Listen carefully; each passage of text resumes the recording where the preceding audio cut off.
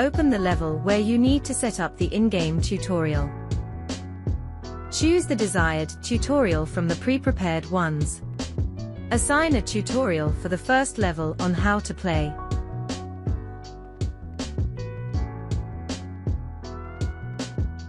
Ready, go!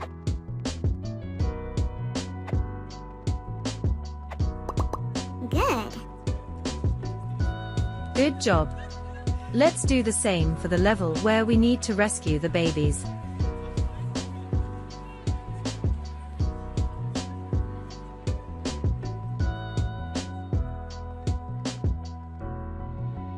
Ready, go!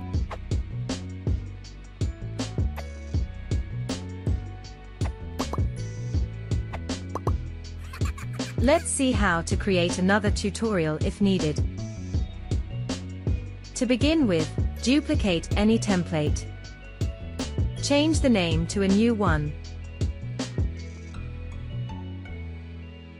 Next, we need to modify the description.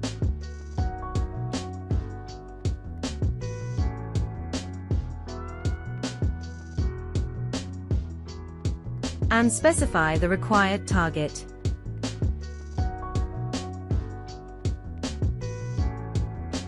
Next, open the level for which we will use the new tutorial and assign it. Let's try.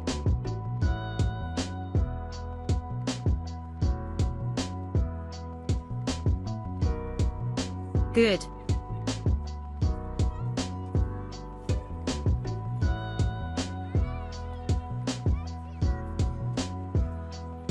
When creating a level, don't place the target too high, as the pointing finger won't be visible.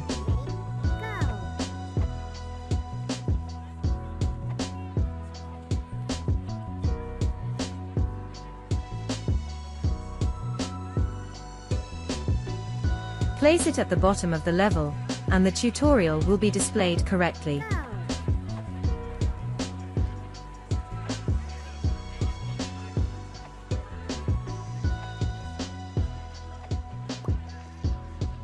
If you want to remove the tutorial for the current level, simply select None.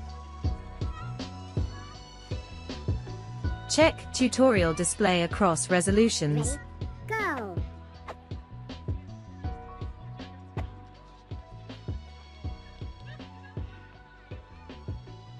Perfect.